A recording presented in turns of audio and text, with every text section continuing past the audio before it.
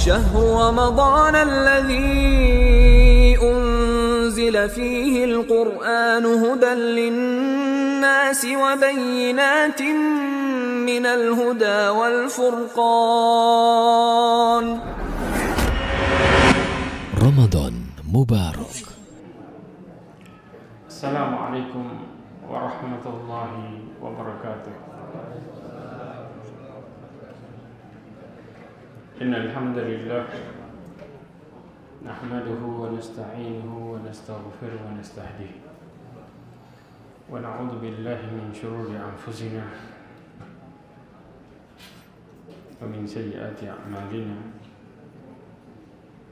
من يهده الله فهو المهتد.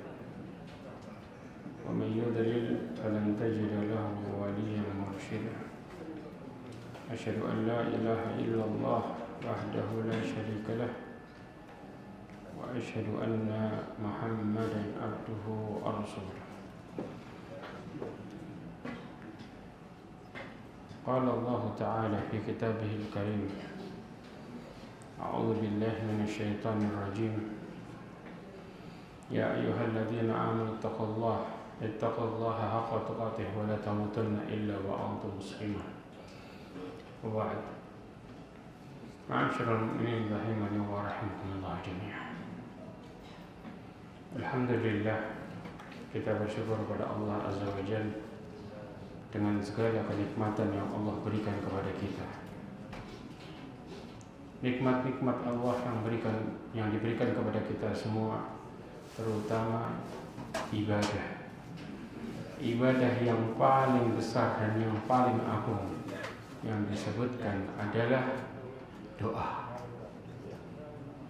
Karena Rasulullah Shallallahu Alaihi Wasallam mengatakan dalam hadisnya dari Nu'man bin Bashir radhiyallahu anhu bahwasanya Nabi Shallallahu Alaihi Wasallam bersabda hadis ini diriwayatkan Imam Abu Dawud dan Tirmidzi doa huwa ibadah Rasulullah mengatakan doa itu adalah ibadah Maksud dari hadis ini seperti halnya Rasulullah Shallallahu Alaihi Wasallam mengatakan al hajju arafah. Haji itu arafah. Rukun haji terbesar itu arafah. Sama. Maka doa apa ibadah terbesar dan yang paling agung itu adalah doa. Karena disebutkan oleh Yahya ibn Kathir disebutkan afdalul ibadah kulliha doa dikatakan ibadah terbaik dari seluruh ibadah adalah berdoa. Makanya ya ikhwah, Allah Subhanahu wa taala memberikan kepada kita semua syariat tentang Ramadan, tentang puasa ada dari mulai ayat surat Al-Baqarah ayat 183 sampai 187. Itu semua berbicara tentang masalah puasa. Di ayat 186 Allah nggak berbicara tentang puasa. Diselipkan di situ Allah berfirman wa idza sa'alaka ibadi anni fa inni qarib ujibu da'watad da'i idza da'a falyastajibu li wal yu'minu bi la'allahum yarshudun. Allah jelaskan apabila hambaku bertanya tentangku sesungguhnya aku dekat aku menjawab doa hambaku apabila dia berdoa. Maka Allah Subhanahu wa taala memberikan perintah di sini. Wal yu'minu. Allah mengatakan wal yu'minu bi. Falyastajibu li wal yu'minu bi. Disebutkan di dalam tafsir ya yang dimaksud adalah falyastajibu li hendaklah mereka melaksanakan ketaatannya kepadaku Artinya berdoalah sambil taat. Berdoalah sambil mendekatkan diri kepada Allah Subhanahu wa taala dengan melakukan perintahnya dan menjauhi larangannya. Kemudian istilah wal yu'minu bi disebutkan hendaklah mereka percaya bahwa Allah akan mengabulkan doanya. Dari perintah ini ya ikhwah, Syekhul Islam Ibn Taimiyah mengatakan kesempurnaan nilai ketaatan terhadap uluhiyah Allah yang berupa ibadah dan juga keimanan terhadap rububiyah bahwa Allah taala mengatur segala sesuatu ya ini merupakan dua sebab terkabulnya doa. Maka kalau seseorang ya mereka melakukan doanya dengan keimanan dan amal saleh, maka Allah Subhanahu wa taala akan menjawab doa mereka. Bahkan Syekhul Islam Taimiyah mengatakan terkabulnya doa karena benarnya keyakinan seseorang serta sempurnanya ketaatan. Karena tujuan doa itu sendiri supaya seseorang taat kepada Allah Azza wa. Dan bahkan para ulama mengatakan kenapa Allah menjadikan doa amalan yang paling Allah cintai. Karena di saat itu seorang hamba menunjukkan siapa statusnya sebenarnya. Gak ada orang yang minta sambil sombong kayak orang gak butuh. Kalau orang minta serius, mereka akan mengatakan, Ya Allah, menunjukkan saya ini hambamu dan engkau adalah Tuhanku. Saya ini hambamu dan engkau adalah satu-satunya yang berhak aku ibadah. Maka di saat orang berdoa mereka menunjukkan sikap itu. Maka Allah senang ketika hambanya meminta. Ini yang terjadi ya Allah. Maka sadarilah bahwa Allah Subhanahu wa taala ingin kita terutama di bulan Ramadan ini memperbanyak doa. Bahkan di dalam hadisnya ada tiga waktu besar yang kita bisa mengucapkan doa dan terkabulnya doa pada waktu sahur di tengah puasa dan saat berbuka. Tiga hal ini sangat penting. Nah, lalu bagaimana sikap kita dalam berdoa? Ini yang sering seseorang salah memahami. Al-Imam Ibnu Katsir mengatakan di dalam kitabnya Al-Jawabul Kafi liman sa'ala an dawa'i syafi disebutkan wa kathiran ma tajidu da'a biha qaumun fastujiba lahum. Banyak orang yang berdoa kemudian Allah Subhanahu wa taala menjawab doanya. Ada tiga hal yang terjadi ketika seseorang berdoa dengan cara seperti ini Allah akan kabulkan. Maka dikatakan qad yaqtarana bid-du'a daruratus sahibi bisa jadi orang-orang yang berdoa itu mereka dalam kondisi terhimpit. Orang kalau sudah terhimpit ya ikhwah, mereka menunjukkan rasa butuhnya sama Allah Azza wa. Mereka menunjukkan bahwa yang satu-satunya berhak untuk diniatkan dalam doanya, keikhlasan dalam doanya adalah Allah Azza wa Jalla. Mereka tidak akan pernah menoleh kepada para makhluknya karena mereka tidak bisa berbuat apa-apa. Di sini orang-orang yang berdoa di posisi terhimpit mereka mengakui itu. Makanya Allah Subhanahu wa taala berfirman tentang kaum kafir Quraisy. Kafir Quraisy, Anda bisa bayangin. Ketika Allah mengatakan ya fa idza rakibu fil fulki da'allaha mukhlishina lahuddin. Ketika mereka menaiki kapal, mereka berdoa kepada Allah Subhanahu wa taala dengan penuh keikhlasan. Allah juga mengatakan waja'ahumul mauju min kulli makan wa dhannu annahum ihata bihim da'allaha mukhlishina lahuddin. Datang ombak dari berbagai tempat, mereka sudah yakin bakal dikelilingi sama ombak yang besar. Mereka dalam bahaya, yakin sudah, langsung berdoa pada Allah dengan penuh keikhlasan. Bahkan mereka mengatakan la in anjaytana min hadhihi lanakunanna minasyakirin. Allah katakan kalau kami selamat nih, kami bakal bersyukur. Ngomongnya gitu. Mereka akan mengatakan kami akan memperbaiki diri berapa banyak di antara kita ketika dalam kondisi terhimpit kemudian kita berusaha melakukan amal saleh. Bahkan setiap manusia kadang-kadang bingung caranya deketin Allah bagaimana. Sering kan kita tanya seperti itu. Tapi pas kepepet kita jadi cerdas. Gak ada tanya sebelahnya cara doa gimana. Langsung mereka masing-masing berdoa. Hah? Hafalannya dikeluarin, baca dikir, semua istighfar dan macam-macam. Mereka tahu cara yang terbaik adalah dengan ibadah. Dan itu dilakukan oleh orang yang terhimpit dengan kesadarannya secara jelas. Bahkan dijelaskan di sini orang-orang kafir Quraisy gak ada yang mengatakan lata uzzaman, gak ada yang keluar dari lisannya satupun berhala mereka. Makanya Allah mengatakan mereka berdoa dengan penuh keikhlasan. Mereka mikirnya cuma sama Allah Azza wa Di sinilah orang yang terhimpit sehingga keikhlasannya keluar. Kalau sudah keikhlasannya keluar ya ikhwah, inilah ya tujuan utama kita minta sama Allah karena merasa sangat butuh dan Allah satu-satunya yang bisa menjawab. Dan itu yang Allah inginkan dari orang yang berdoa. Maka Allah akui orang-orang kafir Quraisy ketika melakukannya dengan penuh keikhlasan. Tapi selesai, falamma najahum ilal barri idahum yusyrikun. Ketika mereka sudah selamat, balik lagi kepada kesyirikannya. Balik lagi kita kayak orang pura-pura nggak tahu. Caranya gimana sih? Mulai lupa tadi sama doanya. Lupa sama ibadahnya. Inilah kenyataan yang terjadi ya ikhwah. Maka sadarilah baik-baik. Ya, makanya ada sebuah gambaran yang simpel. Ulama menjelaskan ketika engkau berdoa, ya, maka rayu Allah dengan cara apa? Bayangkan engkau di tengah lautan yang penuh dengan air, nggak ada ujungnya tuh, semuanya air. Kemudian engkau nggak bisa berenang. Yang ketiga, engkau raih satu batang pohon. Tiba-tiba ada ombak yang besar di hadapanmu, yang begitu tinggi. Apa yang kita lakukan?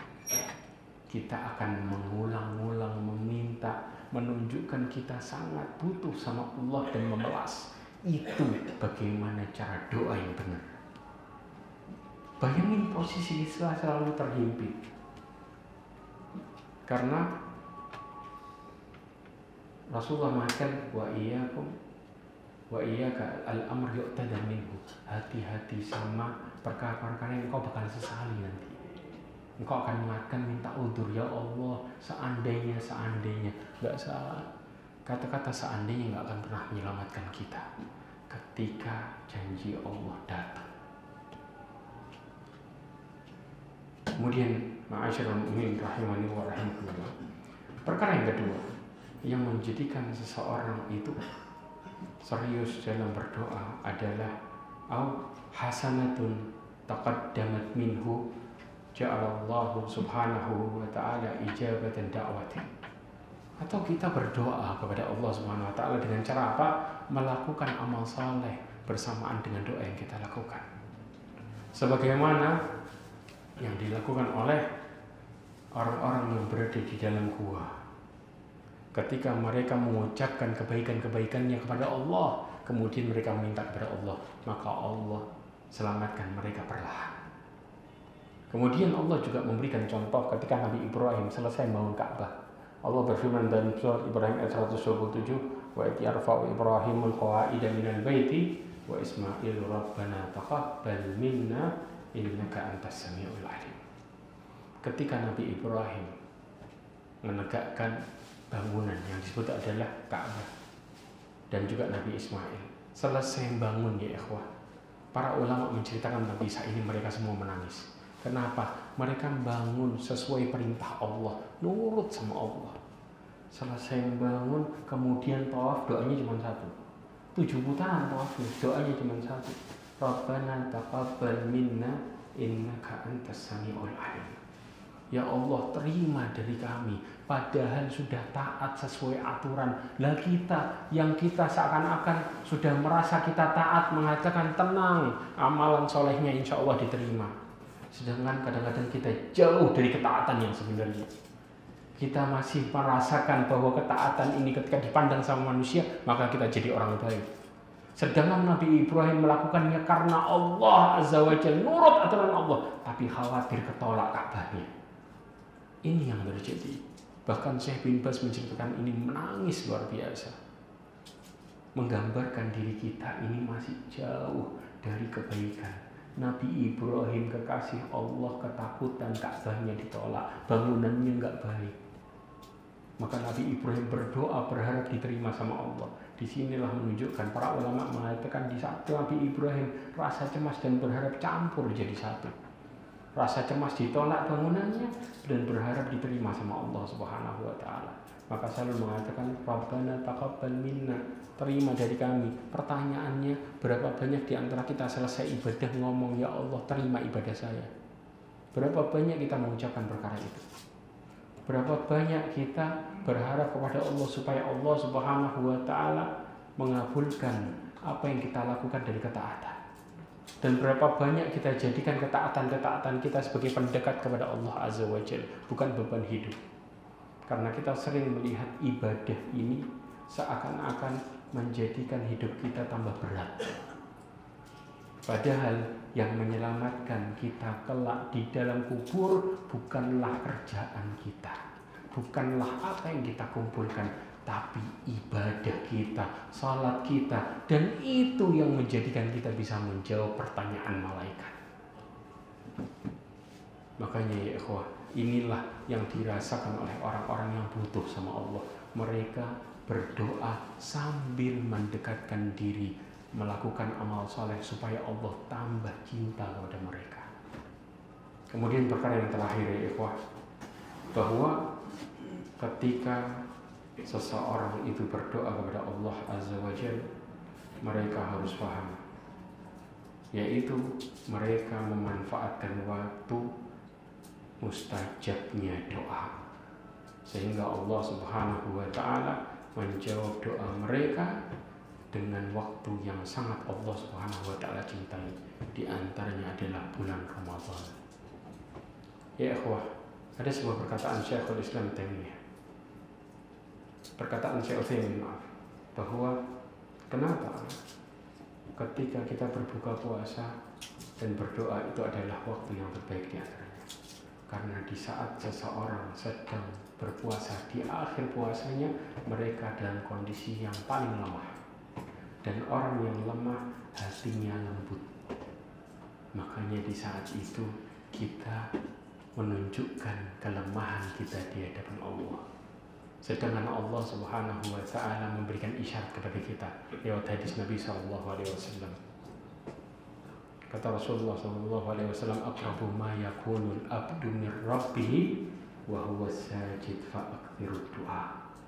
Ketika kita menunjukkan kelemahan kita di hadapan Allah, semakin menghinakan kita menghinakan diri kita di hadapan Allah, semakin kita akan mulia.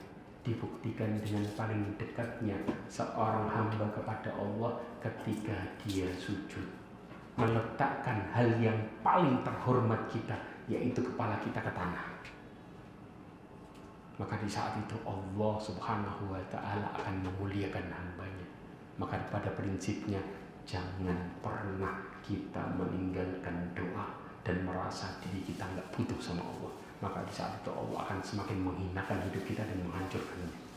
Karena Allah subhanahu wa ta'ala mengatakan Udu'uni astajib lakum Innal ladhina yastakbiruna ibadati sayadkhuluna jahannam dakhirin. Allah menganggap orang-orang yang tidak mau berdoa mereka adalah orang-orang yang paling sombong. Kata Allah, barang siapa yang menyombongkan diri dari beribadah kepadaku, yaitu nggak mau berdoa, mereka akan Allah masukkan neraka dalam keadaan terhina. Maka mintalah kepada tempat yang tidak pernah ditutup. Mintalah kepada zat yang tidak pernah menutup pintunya sama sekali, yaitu Allah Azza wa Jalla dan hinakan diri kita sehina-hinanya karena kita benar-benar seorang hamba yang tidak pernah bisa berbuat apa-apa kalau Allah tidak menolong sedetik pun. Mudah-mudahan ini menjadi nasihat yang terbaik buat kita semua.